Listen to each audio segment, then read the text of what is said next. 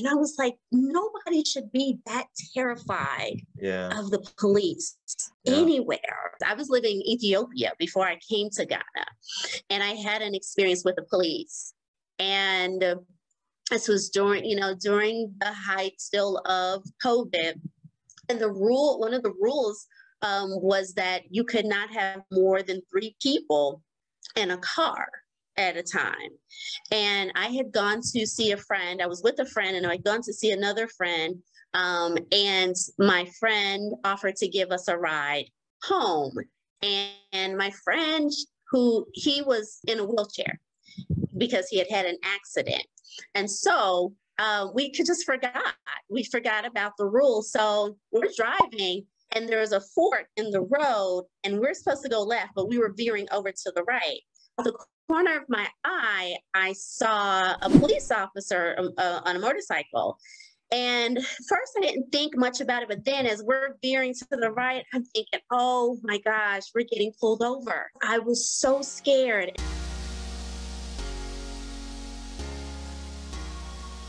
All right. So, Adwoa, thank you so much for joining me on my platform today. Uh, please go ahead and introduce yourself and uh, tell the audience about you. Well, hello, everyone, and thank you, Anan, for having me on your show. I really appreciate this opportunity to tell my story. I know you kind of talked about it on one of your earlier videos, so I'm glad that I'm able to come on live and just, you know, and talk with you and your audience. My name is Sonjiah Davis. Everyone calls me Adwoa. Um, and I live in Ghana, West Africa. I am from Washington, D.C., but I am a, a descendant of of family from Tulsa, Oklahoma, and the surrounding areas. Um, I have lived in Ghana for the past year and a half. Uh, yeah, almost a year and a half. And uh, I am a therapist. Um, I have a practice in, based in Washington, D.C., and I also do uh, international dating and relationship coaching for women coming over here to uh, Ghana, uh, making the transition. I have a um, a nonprofit uh, that helps women transition safely and effortlessly, uh, learning to navigate uh, the uh, the waters of Ghana, and uh, just you know to find their peace and happiness. Wow, that's awesome. You're a woman of uh, many hats. Um, I do. So- I, I have lots of other hats too, but I just Yeah. didn't go into all of that. But wow. I'm going to put Adwoa's information at the bottom in the description box. So if you want to reach out to her for any therapy sessions, maybe, or any collaborations with her foundation is going to be in the description box. But so tell us the, the significance of the name Adwoa. Adwoa means Monday born. And um, actually, I have an adopted family here in Ghana, and I'm about to actually legally change my name to my family name, which is Yaboa. Um, but I kept Adwoa because when I arrived in Ghana for the first time, I came on a tour. And the tour group, they took us to uh, the um, castle, the Cape Cape Coast Castle, and they did a naming ceremony for us. And it was it was powerful. It was extremely meaningful. For me it meant a lot to me because that was my it was like a release. Like it was a release of you know knowing that i I have autonomy over myself and my body. And that's something that I talk about a lot, especially for um, African American women and our plight and our history in America, where we have never really had autonomy over our own bodies. And that was just like an act of rebellion for me, I guess, for that name. And I have had a very um, shaky history in regards to my name in general. And so it was easy for me to accept this new name because it was something that I was able to take on myself and own it. So if you don't know, in Ghana, if you're part of the Akan ethnic group, your name is based on the day you're born. So for a girl that's born on Monday, the name is Adwoa. So Adwoa Akwaba. Madasi. Good, good, good, good. So you, you Mhm. mentioned being a descendant of the survivors of the uh, Tulsa race massacre. How has that yes. um, that type of trauma factored into your life? Woo. So I lived in Oklahoma the my early years. I did middle school and high school there continuously, and then the rest of my life I did the early years. I was in and out visiting your grandparents, things like that. I am lucky that most of my ancestors lived till about 100, 105 on average. That's just average. And so I grew up with my great great grandmother, uh, great great aunts, um, uncles. Um, so all of those people who were around, you know, during that time actually. So I was able to, you know, sit at the foot, you know, at the at their feet and listen to them talk and, you know, and and learn, you know, about our family history. And I, along with being able to get DNA testing, but a lot of information I already knew, kind of knew where I came from in Africa mm-hmm. that part of my family didn't really connect with Africa. They didn't really, they were part of the ones that were like, okay, that's a long, you know, that that's a long distance pass. You know, they didn't really acknowledge that part of our history. But I was an avid reader when I was a kid, and um, and Africa was we had a set of, I'll say that I'll go back a little bit. We had a set of encyclopedias that came with the house that we lived in. And because I read everything, if it had words on it, I was reading it. And so I set out to read every encyclopedia in the set. And of course, Africa was in the first one. And he had such vivid pictures. And I was just so, it just made me so excited about it. But I didn't have anybody to really talk about it with. But when I heard stories about what my family had gone through. Hey guys, I hope you're enjoying the video. Adwoa mentioned earlier that she had a relationship and coaching business, and I wanted to take a little bit of time and let you guys know that this video is being sponsored by Skillshare. Skillshare is an online learning platform where you can learn from a variety of different topics. So if you have a skill or passion that you want to teach anyone, you can learn how to do that from Skillshare. For example, how to start a coaching business there's topics you can learn such as film and video, leadership and management, productivity, and so much more. Currently, I'm taking a course that is being taught by Marques Brownlee, who is one of the leading content creators in the tech space for the last 10 years. This course is on shooting and creating better content for YouTube so that I can create better content for my viewers. The folks at Skillshare were nice enough to offer you guys one month of free trial of their premium membership. So I put the link in the description box below. Please go ahead and check it out. Tulsa during the race riots, um, my family um, they owned a, a, a, lot of land, and we actually had our own town called Rentie Grove. And it's like right now it's part of what they call Jenks, Oklahoma. But Rentie Grove was like you know on the southern end of town, and I know that like my family. Um, our family cemetery is there, and it's um, um, it's a historical landmark now. Um, and if you saw my CBS morning piece, you saw they showed me at the family cemetery and everything. I always kind of put that in this in, in this journey that I had to have myself, if that makes sense. Mm-hmm. Knowing what happened there, knowing what my family went through, I at a young age knew that America wasn't for Black people. I don't know how I put that together, but I knew it just, it, it didn't, we didn't go together. We didn't mesh well together. Mm. And then adding to everything that I dealt with, you know, growing up, up until the point that I made the decision to leave, just kind of reinforced what I, I surmised when I was a young kid. Being that you lived in Ghana for the past year and a half, what was your life like in Washington, D.C. compared to now? compared to what it is now in Ghana? You know, the funny thing is, is my life isn't much different.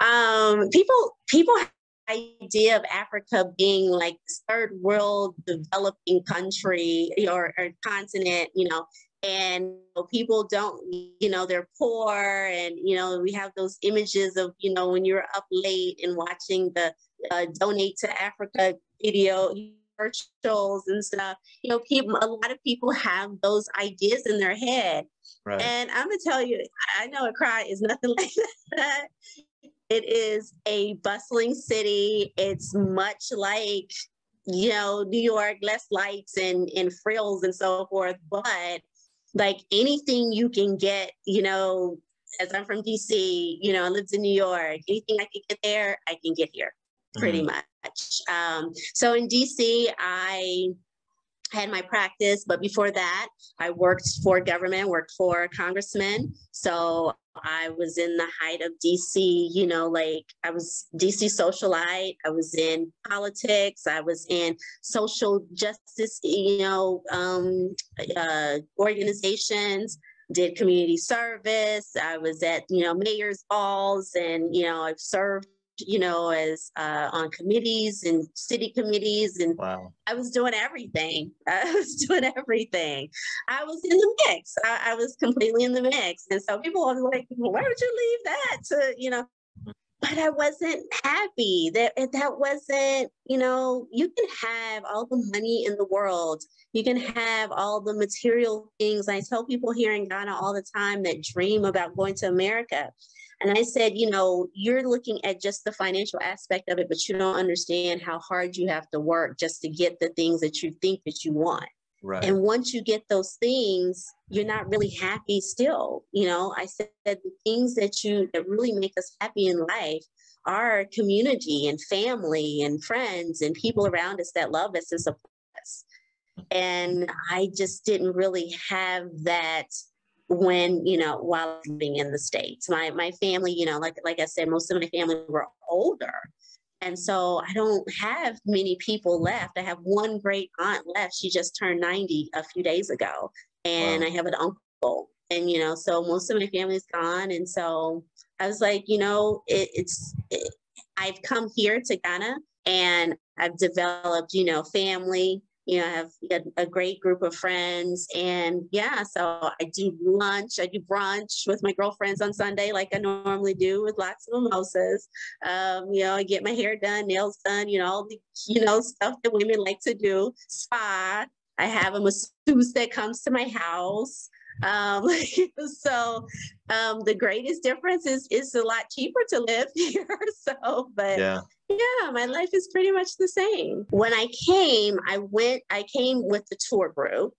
And so of course they showed us all the tour stuff, right? Um, but what I saw was a lot of opportunity um, and I saw how I could have peace of mind.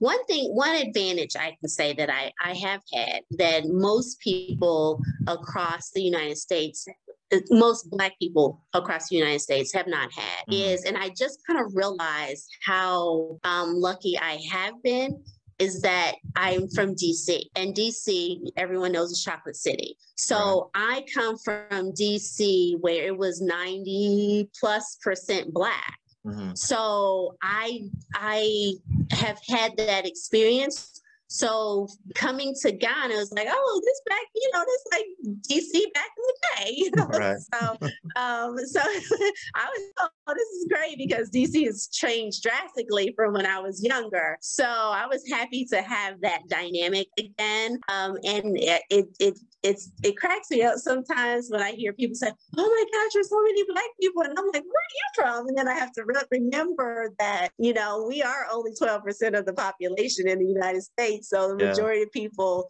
you know, don't experience you know a place where it's majority black and people looking like you. So yeah. So Adwoa, being that you're a descendant of the survivors of the uh, the Tulsa race massacre, there's a doctor by the name of Joy DeGruy, who's also a social worker uh, that you mentioned earlier, and she wrote a mm-hmm. book called "The Post Traumatic Slave Syndrome." How has yes. that had an effect on your life and the effect of Black America from the trauma that existed from the transatlantic slave trade?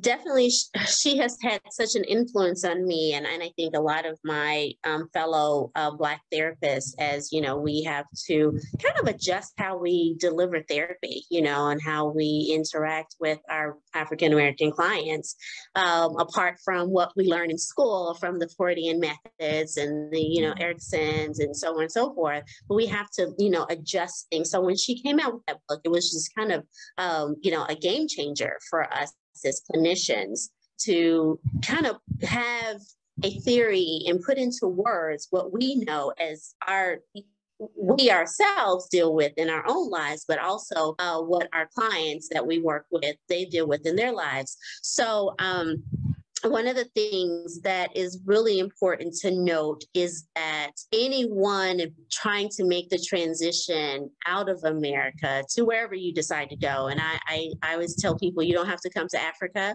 but if you make, you know, if you finally get to a place where you just can't take America anymore, some place where you're going to find your, your peace, wherever that might be.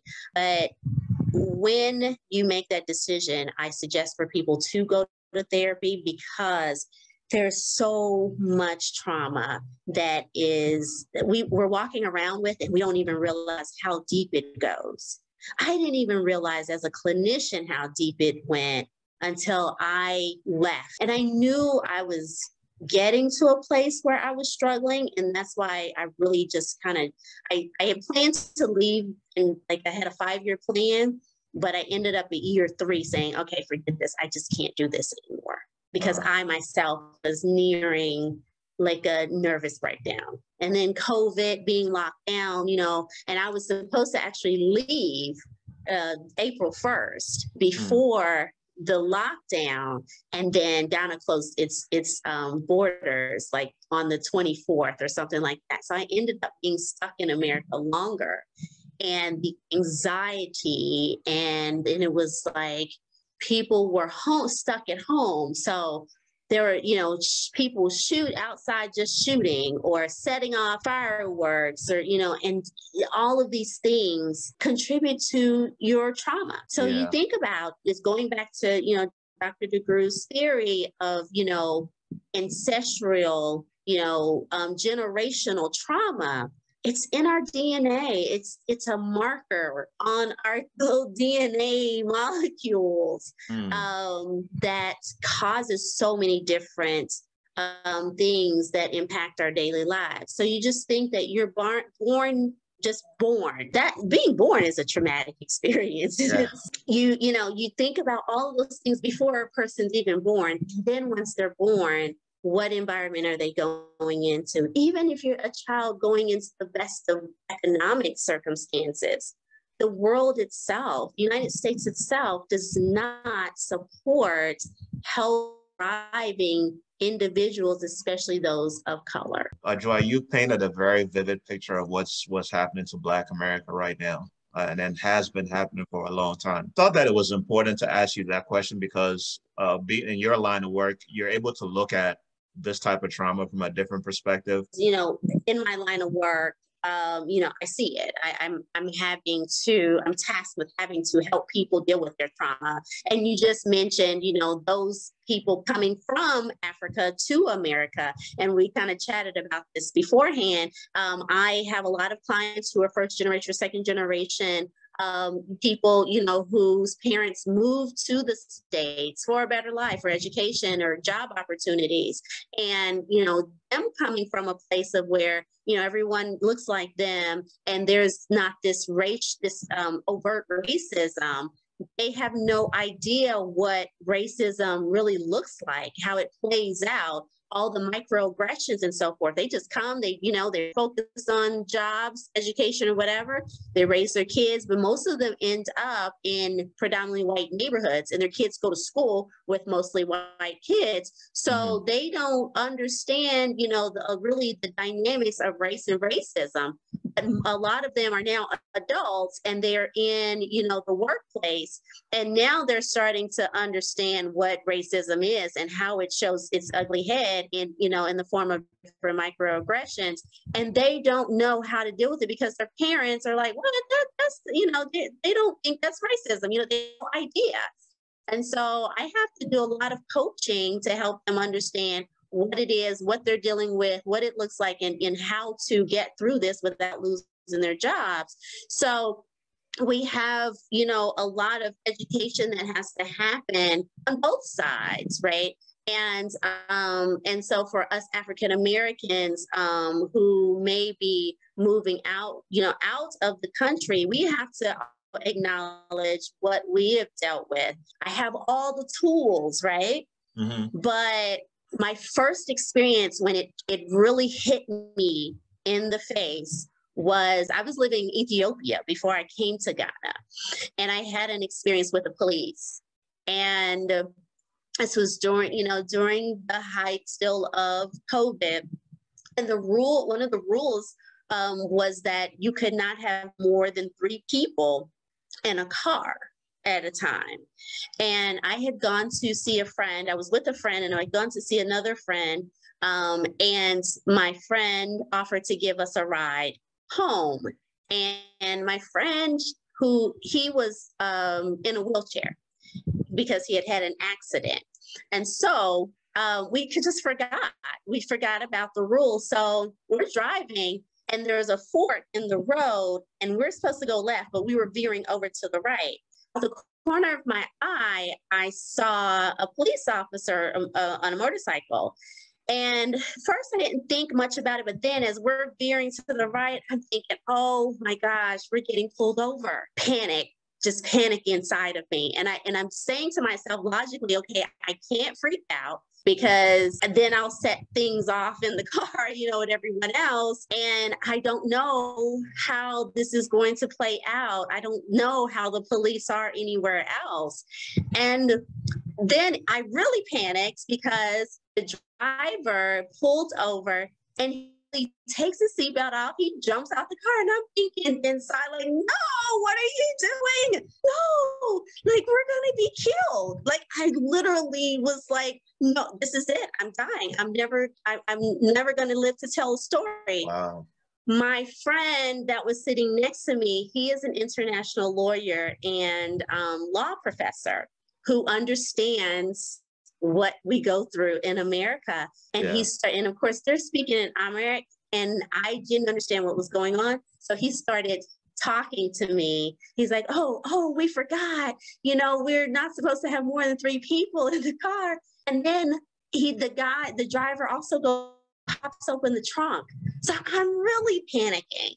Like, what is he doing, guy? What uh-huh. are you doing? Like, we don't do this, you know. But he was showing him he had his wheelchair and the officer was like, oh, you know, basically like, oh, okay, you know, just remember the rule. So the by law, a person who has a handicap or something is considered half a person.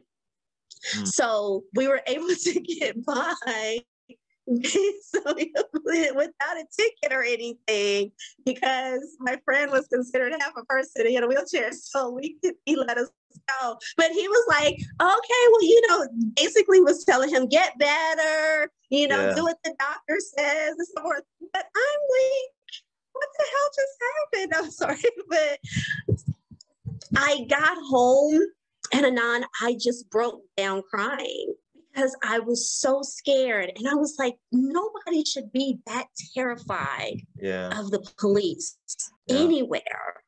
And that was where I was confronted with my own trauma. Yeah, because you've been programmed to to think that way based on your life here. Exactly. Yeah. Exactly.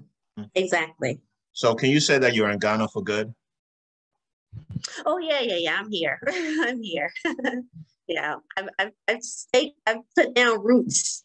So congratulations. yeah. Congratulations. Yes, I'm really proud of you. you. Thank you. Proud of you. Thank you very much. I appreciate that. Yeah. So final words for any sisters who are professionals here in the United States like you like yourself at one time who are mm-hmm. maybe considering moving to some part of Africa, hopefully Ghana, but any part of Africa, mm-hmm. what would you say? I would encourage them to do it. I it's on your heart. And first and foremost, like I said, I can't, re- you know, say this enough. Go to therapy. Go to therapy. Work through your trauma, because you don't want to bring that with you because it can make your transition difficult.